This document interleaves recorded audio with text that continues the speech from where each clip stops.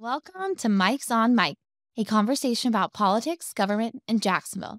Join 50 year opinion leaders Mike Hightower, Mike Tolbert, an award winning broadcaster and longtime political observer Mike Miller. Hello, once again, everyone, and welcome to another episode of Mikes on Mic. We're happy to have you with us. And once again, of course, our podcast is brought to you by the fine folks over at the Jacksonville History Center, which incorporates the Jacksonville Historical Society, run by the great Alan Bliss and his staff. We thank them for their continued support of the Mikes on Mic podcast. And thank you for joining us. Going to be kind of an interesting week this week. It's just the three of us, just the Mikes. And we're going to be talking about what we have done over the past year, if you will, and 2023, and also take a look ahead about what he planned for 2024.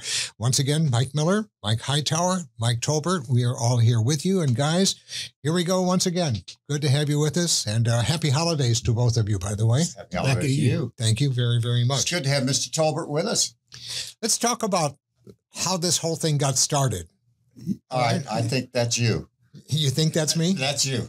Well, I, I, can tell you that. Go ahead that you you're the one who proposed that we get together and do this, uh, Mike Mike Miller. So I'm yeah. the one to blame. And and, and Hightower Hightower seemed to buy in hook, line, and sinker, uh, and I was kind of apprehensive. Why were you apprehensive? I never knew that. Because uh, it was Hightower involved. Oh, I got you. no. All right, that'll do it. It's been great having you with us. Happy. Oh, no, I, am uh, contrary to common knowledge. I, I don't like new things. You know, I'm, a, I'm a, let's keep it like it is kind of a guy. Mike is our real curmudgeon on the show. He really is. Actually, though, you know, if we look back, it's hard to believe this is our 22nd episode it of this thing. just doesn't we, seem we possible. Had, we had no idea that we would even get along. Uh, we had no idea. Well, we knew you were very articulate because of your radio experience, right? But we had no idea that either one of us could communicate in this kind of a venue. And we have validated that we're not. And I think the amateurish quality of the three of us comes across very well, don't you? you and it's but you know, kind of endearing. I, will remind you that I think it was you, Miller, who said, "What are our goals?" Or maybe yeah. you was. It. Somebody said, "Who or what are our goals?" And my goal was simply just have fun. Yeah. Yep. And yeah. I met my goal. Yeah. So.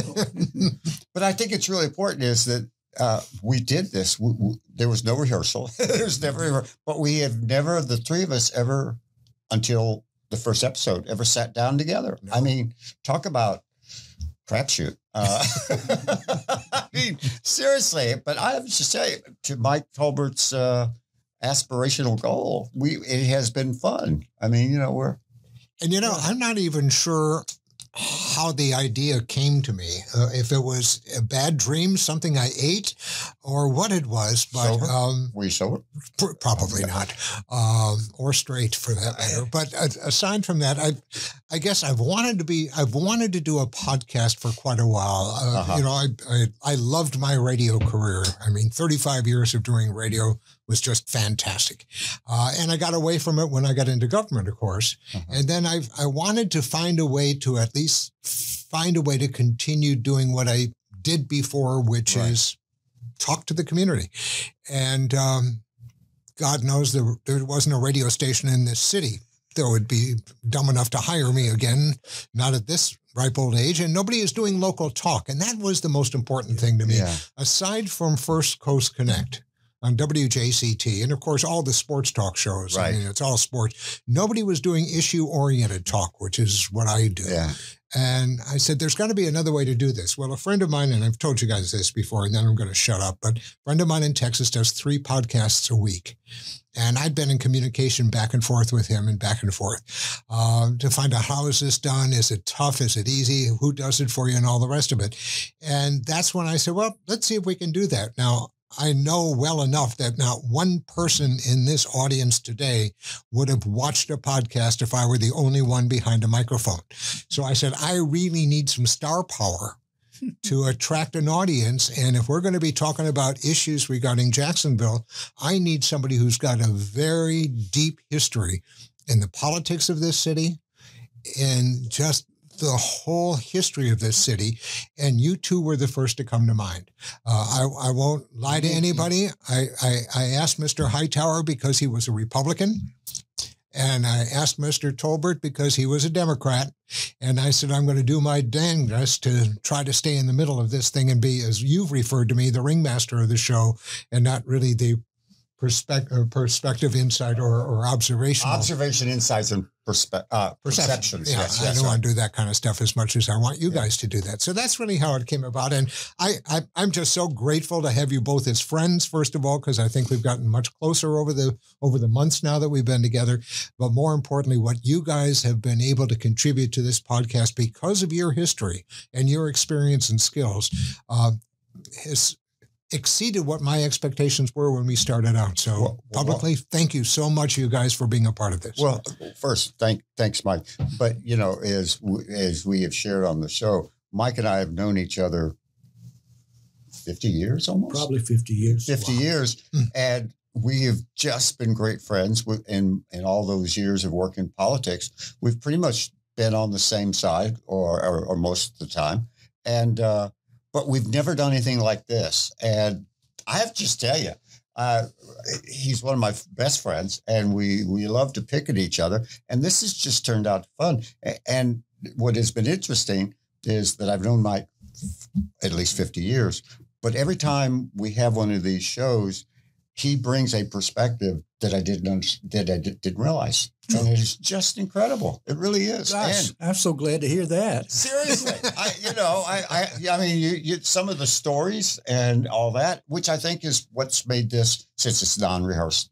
Uh, but I, I thought I knew you, but I didn't. And Well, you know, we, we, when we first started talking about this too, we were trying to figure out what to do. And I remember somebody said, "Well, why don't we act like we're sitting in a bar, in a booth, and talking about what's going on in Jacksonville, and and we want the people sitting behind us in the next booth to kind of be hint- curious about what we're saying." yeah, And I don't know we've done that, but we started out, we we we were just going to be us. I think. I think that Yeah, was our yeah, original right. it intent was. then all of a sudden we started getting guests on and we have to kind of remind ourselves now to go back and just do us Just the three of us. just Yeah. the three of us like kind of like this but but if you think about it over the last what 22 episodes now.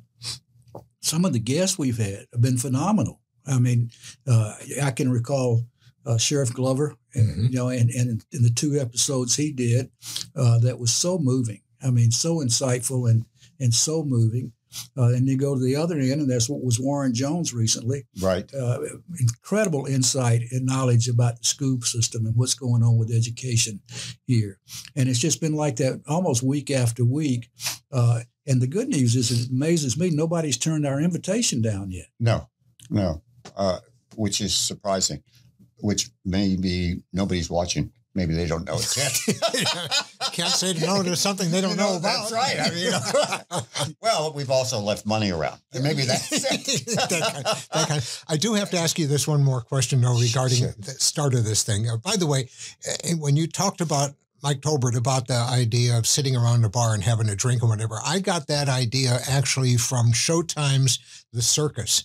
Inside the greatest political show on earth, which is just a phenomenal Right. program with three people that do nothing but talk about politics. Unfortunately, and I hope this doesn't happen to us, but Showtime has canceled that show for the next Yeah. season, uh, which I'm very disappointed in. I wish they had gone through the election of next year, but be that as it may. But that's really the format that I was looking for is just nothing rehearsed, just talking. Just Well, You know, talking. If- if we ever I decide- found the perfect dive bar for us to do that show, but it's in Brooksville. yeah, well- you know, I mean, we may we could do that. We when, can do that. when my, my my television network, and my television carrier, whatever it's called, Yeah, uh, canceled CBS or stopped showing CBS. No I- kidding. I, couldn't watch the SEC championship game. And there's a dive bar not too far from my house where I go occasionally to have a beer and, and lunch. Huh. And it is a dive bar. uh-huh. But I recall that they have a huge television screen. So I called and down and said, uh, "Are you guys going to be watching the, champ- the SEC championship game?" Sure, we are. I said, "Okay." So I went down there, uh, with, with, and I was there with a bunch of bikers. Uh, I sat next to a guy who was a bouncer for an, uh, another dive bar that's been closed. And had a great time. Ate Uh-huh. onion rings and drank beer, and but that, it'd be the perfect place for us to do this show. We got to find one of We got to find someone to Well, do I was just thinking when Yeah. you said that, uh, I was just thinking before they they tore down um, your favorite place. You and I used to go and have lunch and talk about politics. Yeah, yeah. River City Brewing. River City Yeah, River Brewing. City, So, yeah. Perfect you know, so. I mean, obviously we have experience in that. So that all you got to do is find a venue. So Exactly. We already have that experience of doing that together. Well, that's that is going to be one of our goals for 2024 is to find right. someplace to do the show from. That But- won't you throw know- us throw us out halfway through.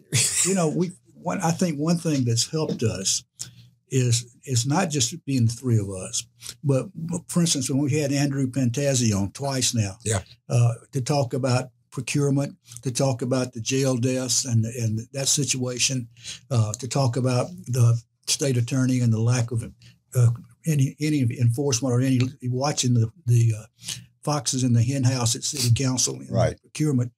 Uh, they uh, Nate, Nate Monroe and Gene Frenette talking about the Super Bowl, I mean, not the Super Bowl, but the stadium Bowl. rebuild and the Florida Georgia game. Right. We've had some good people on here who've added so much to, to what we do. Right. And it and when you think of the topics, it's it's sort of every week, every other week, there is something that comes out in Jacksonville that we have a chance to talk about. Oh boy. And, and just but to Mike's point, think of the folks that we've that we've heard their perspective, which gave us an opportunity to do some great listening and then ask them some really great questions, which think of the talent or the experience that we've had here. I, that that's extraordinary. I, I you know, you were talking about some of the things you remember. I I think of uh, Mr. Tolbert's comment when we had Nat Glover in here, and and he said, you know, have we are we sure we've got Nat Glover or not? Uh, Kid Rock. I, was, yeah, I mean, I just you see this side of these personalities in front of this microphone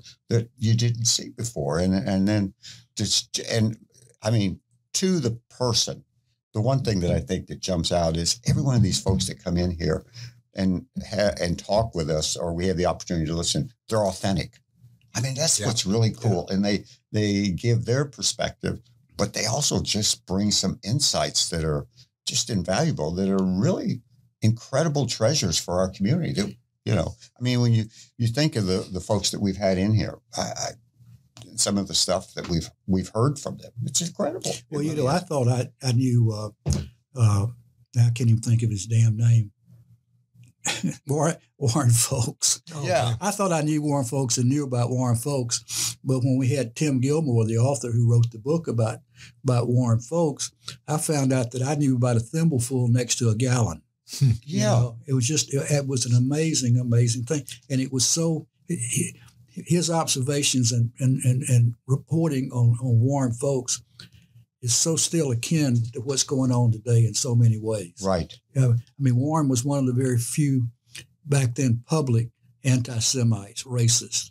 Uh, now we've got a lot of them. You know, he's he's got a lot of friends in the streets right now. Yeah, and and to Mike to underscore that, I mean, we all kind of knew he was sort of this weirdo that you saw on the street, and it was kind of like, well, there's Warren Folks again.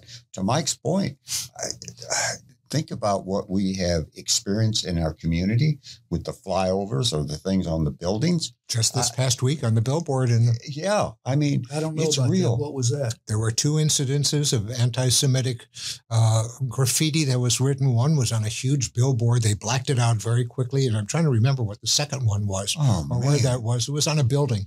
But uh, two incidences just this week. I just read, as a matter of fact, yesterday, uh, a report that anti Semitic occurrences between the first of the year and today have gone up by 338% over the same time period of a year ago That's here. here in Jacksonville. Oh my God! God, Whew, that's horrible. It's scary. It is. It's very, very scary. very Well, you know, I was telling you, both of you, I, I had coffee with our good friend David Miller this Mhm. morning. Yep.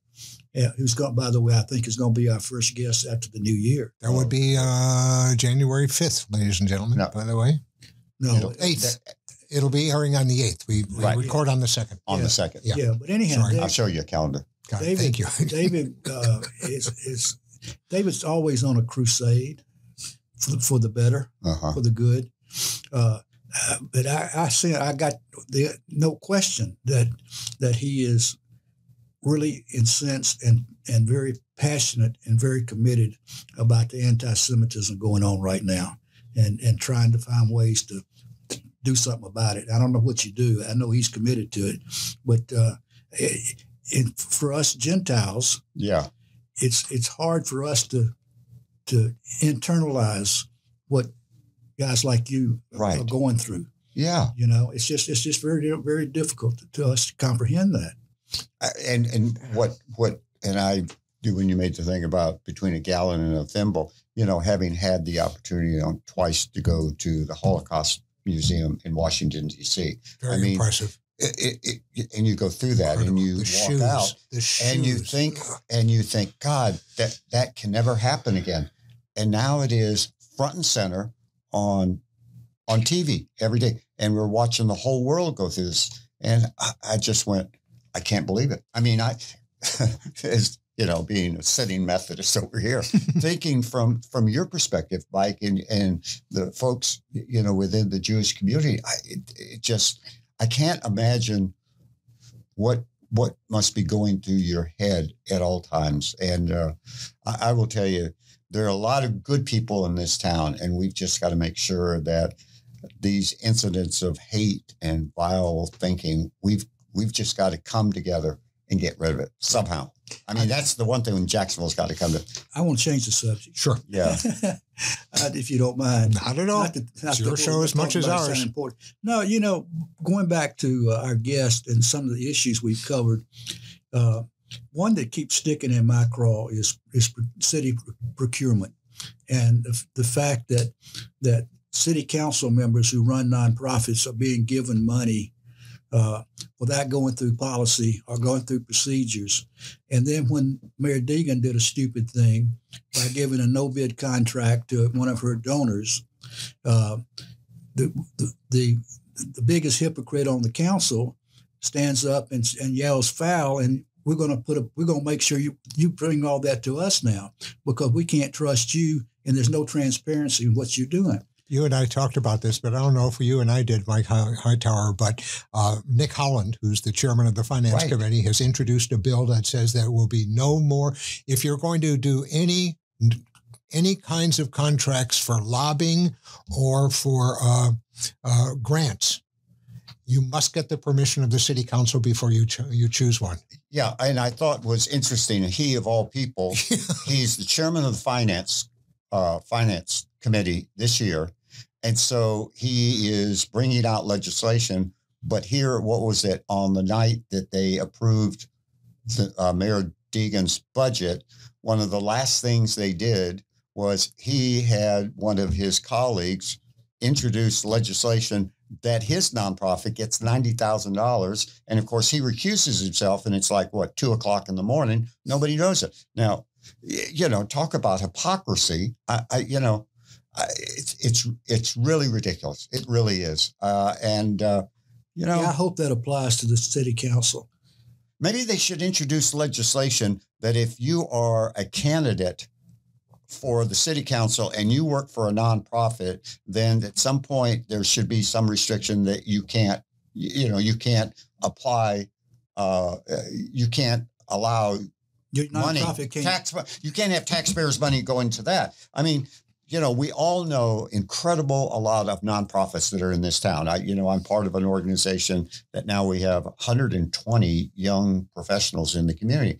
And the way we do it, half have to be from the uh, for-profit sector, and one half have to be from the nonprofit. So when you look at that, if my math's right, there's about a, you know, about 55 thereabouts who are in the nonprofit who do great work they've got to go out there and hustle and compete everybody else but you've got five or six members on the city council that they can sit there eh, using taxpayer money and get their nonprofits anywhere from 90,000 to 300,000 or more and they don't have to compete Hmm. i mean talk about a level playing field Well, you know, one of the things Not. that one of the things that Andrew Pantazi said when he was here, I think on his second visit, he talked about how when a new city council comes on board, there's always an orientation right that includes an ethics presentation. Correct. And then he took out his phone and he, he read what the first assistant state attorney told council members about procurement.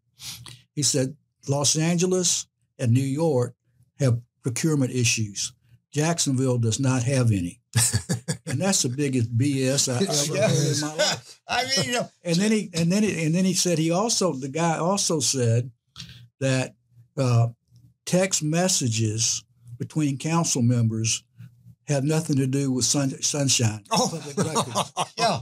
And I'm going so so and I, I got to tell you th- this may get us get me in trouble, but I'm hearing that every once in a while, maybe once every two weeks, and it coincidentally a little bit before the Tuesday council meeting, a certain number of, of those council members are having lunch at one of them's house.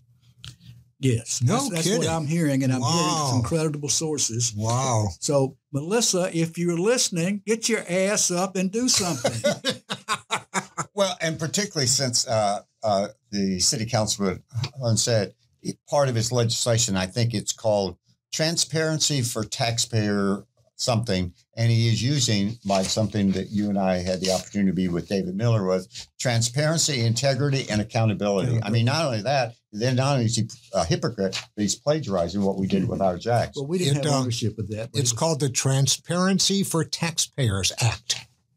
I, well, you know what's good for uh, Donna Deegan. It's for taxpayers, but not for city council members. That's right. Transparency Yeah. for the when, taxpayers. when when you're when your city council, the taxpayers' money is just your a, ATM. It certainly is. And boy, do they have the PIN number for that one, don't they? God, it's just I, I yeah you, yeah. We're I keep thinking going back, Mike, to the years that you and I've been together. Can you imagine the texting or the thing that happened at city council or any of this stuff when Harry Shorstein or Ed Austin was there? I, it wouldn't have happened. well, I don't think I don't think we had I texting. think back that we didn't have Well, well, so I mean, all right, but I mean, yeah, all right, but So they little listen. They pieces of didn't, paper but they, they didn't get, across. but they didn't get together in people's houses. no, they either. did not. No, not not No, not, they did not. except at Christmas, maybe for Yeah. social occasions or something like. But they that. also knew what was go- they knew on. somebody was watching. Exactly. Yeah, they knew somebody. And, and again, not, to leave out Angela. I mean, Angela was pretty much a watchdog as well. So, but I, I'm I'm I'm very concerned that we don't have that, and that's one of the reasons I think this show is has value to it because we're living in, in a in a world now where the, the the newspaper is diminished and diminished and diminished, and Nate Monroe and Bauerlein and those folks do the best they can, but they can't cover the waterfront, and there's not very there's uh, there's not much in town that kind of talks about issues and brings things up like we're able to do. Right. And I think that's a part, and I think that's one reason people are, are, are supporting us is because they see that kind of a value. But, but something's got to happen. I mean, uh, we live in a world now where the rules don't matter. It doesn't seem. Well, because there's no accountability. You know, we keep talking back here of observation, insights, and perception. I think maybe for 2024 we put we should have one that says rumor has it that you know rumor has it that they're having dinner tonight or rumor has it is somebody's got somebody has a bill coming up that might help their nonprofit or rumor has it uh, because of course we don't editorialize No, we do not. We do not We, you never get our opinion on the show. We do afterwards when we're going out for a glass of wine, but you don't get it on the show. exactly So tell me, what what what have you guys learned over the last 22 episodes That is, you didn't know when we started? I mean, what, what, what have you learned anything? I, I don't know if I've learned anything, but I've had several things reaffirmed. I. I this is going to sound hokey, and you guys go ahead and do it. But I, I what I've learned, you guys are two good friends, and I appreciate that. I, I, I It must I- be and Christmas. Yeah, no, it is. And, This, and well, this is so in lieu cheap. of a bottle Yeah, of wine. Well, I mean, it won't be, Tolbert's so cheap he's not going to buy it anyway. So No, I, wouldn't. know, and if it is, it's it would be a- Boone's Farm well, it's going to be in a box or It's Purple not- Cow But I mean, seriously, I you know uh, think of all the years, and you know we get together periodically, and you know I think one of the neat things about this is that friendship is important, and the fact is we've we've got a lot in common, and you know sometimes you kind of take that for granted or forget to do it. Well, the good news is we have some things in common, uh, but we don't have a lot of things in common. Yeah, we don't have too much. Yeah, we don't have too much. Yeah, and I think that's that's important. You know, I, but I have had some things reaffirmed. I, I mean, I've always believed that Jacksonville is, has a lot of good people who are trying to do the best they can to make the community better. you're right. And and you and I have had discussions since at least the mid '90s about the current crop of leadership at that time and what's who's going to fill their shoes when they when they're gone off the scene. And now we're having that again recently. Mhm. And I'm and and and the world has changed in Jacksonville just like every place else. When we were growing up in Jacksonville, a lot of the leadership was homegrown. They came out of the businesses that had, their parents even started. I mean, Right. homegrown. Now we're in a in a community that is in such transition all the time that that a lot of the business leaders don't have a lot of roots. Uh, one of the things that David Miller told me today, and I was so glad to hear, as the the, the civic council of all those CEOs looks like it's it's it's going through an, another stage where it's going to become proactive as opposed to reactive. Great. Good. What's that? They, uh, yeah, they they're adding staff. They he says they've created a foundation uh, with there to fund and adding staff to go into several different. I think he said twelve different work areas to do stuff, and and I think that's going to be helpful. That's one of the things I miss most about not having JCCI around anymore, uh, because they used to do that. They did a quality of life survey every year, and we used to track that with the trends of how it was going.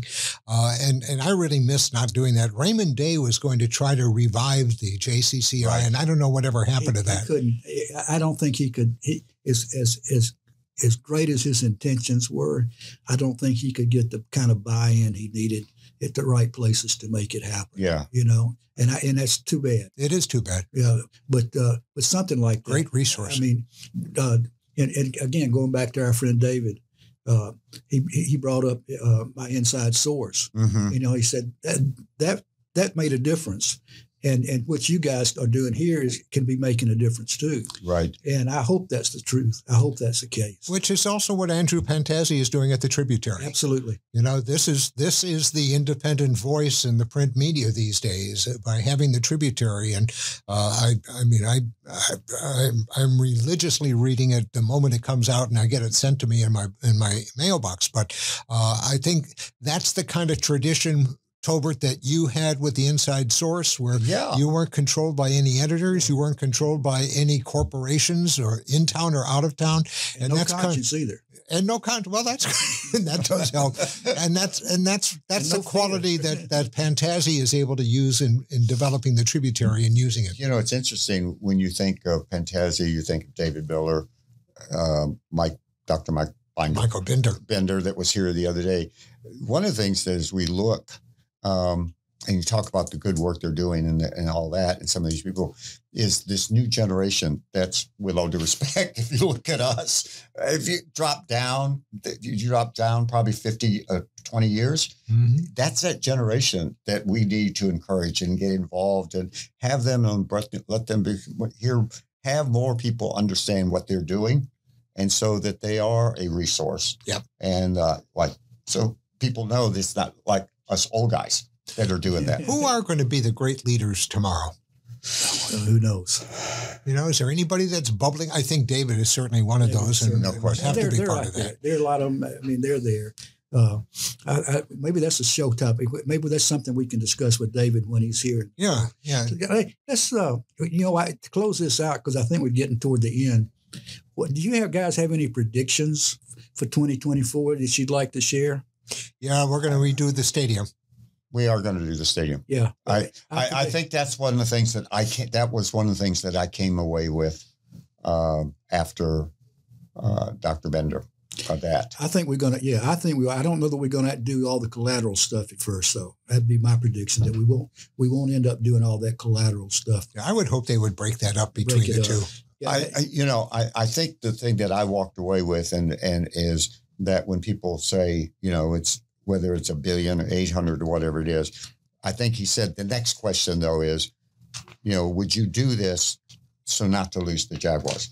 And I think at that point, I why people may grumble, I, they're not going to do that. I, I just it's it, we are still one of 32 cities in the United States, and I I honestly believe that uh, one of my predictions it won't be next year, but I really believe within the next five years, Jacksonville will will be, will either be in the Super Bowl or we'll have a Super Bowl. Wow.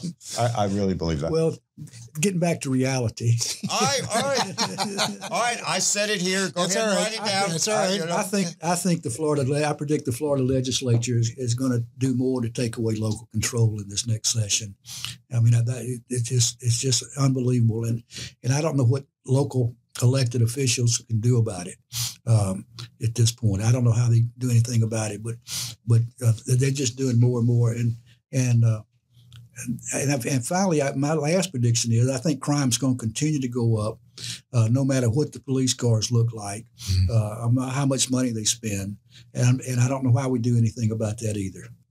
The other uh, prediction I'll have um, is that uh, recreational marijuana will be passed next year.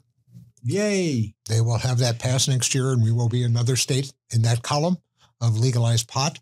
And Think the other all one, the years, Fifty uh, John too Morgan, late. all the years that John Morgan has been pushing, he can say, say, yes, finally, finally, I- finally, that- finally, finally, after many. And the other thing I would tell you is Christian Ziegler will not be the chair of the GOP in 2024. God, I. Unless he's doing it as a three-way with the Democrats and the uh, Independents. I'm, we're not going to go there. This is we're trying to make this a, we're trying to make this a family show. No, not I- today. you know, Mike, I, I, I, I, I, I see your concern, and I think we should be concerned about losing control. But I think a lot of that is pushed by this governor, Oh, it is. and I, my prediction is that he is not going to be the nominee. He has pushed the legislature as far as he could push them uh, for reelection in this thing. But if he does not, if he does not, is not successful in the upcoming one or two uh, uh, caucuses, Iowa or New Hampshire, right? I, I think he returns to Tallahassee a little more humble, and I think that you will see the legislature kind of rethink that they give him a, a rubber stamp. I really do. I was going to say, what does a lame duck DeSantis looks like look like? Because that's what he's going to be when well, he gets you know, there. it, it, it doesn't matter that he's a lame duck. They already those you got members of that legislature that already have have, have their they've already taken their castor oil and they're ready to go now. you know, Yeah, I, I, I, I, I okay. I don't. tell, I, tell I, Dean Black that. I, I, I, my observation, Well, my Duggan. observation, my observation is that I do not believe that Dean Black thought process or some of the things of he is pushing is part of the majority thinking of the Republican. I hope you're right. I, I, I don't believe it. I really don't. All right, guys, we're going to wrap this up. Uh, happy holidays to Happy you and to holidays. your Happy families. holidays. The other Yeah. thing I was going to ask you at the beginning, and I found going back to the initial question we had here, when I approached you two to do this, did you go back to Sue and did you go back to Annette and say Miller came up with the dumbest idea? What do you think? No, Okay, just wondered. I just thought that. I didn't ask anybody. I, I started to, but then Sue would say, I thought you were trying to hang out with better people. I- you know, and you know, but it's it's been this way for 58 years. And you know, Oh, she just would have thrown up her hands and go, It's a lost cause. It's an absolute lost cause. You know, just make sure you don't talk about us. There's a windmill, just goes walking towards it, right? Just change the last name. All right. Everybody, thank you. Thank, Thank you you guys all. so very much. And Thank thank, you you, all. Don't forget, for the next two weeks, we'll be rerunning two shows that we have done before.